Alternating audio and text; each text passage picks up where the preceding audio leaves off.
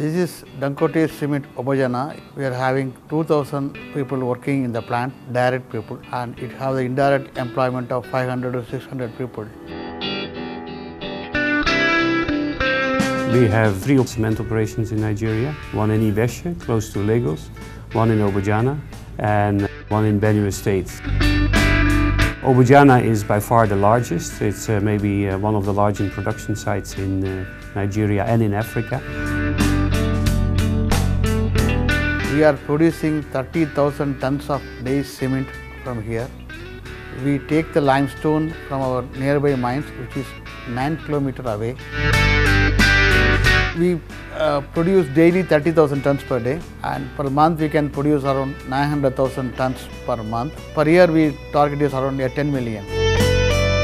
For us, it's very important that we can run our operations continuously. So we need power when we need it so that we can run our plants. That's why it is important to have a partner like GE uh, because for us, continuously running and always have availability of electricity is important. Dangote Cement PLC Obajana comprises four gas turbines GE make LM6000 model, each capacity 45 megawatt and the total plant capacity is 45 times 4, 180 megawatt.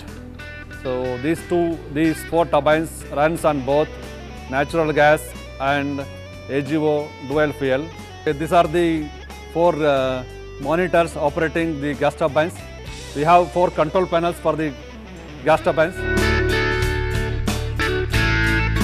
Because of the subsystems in the engine, the cost of power generation of the unit is well below the standard unit cost.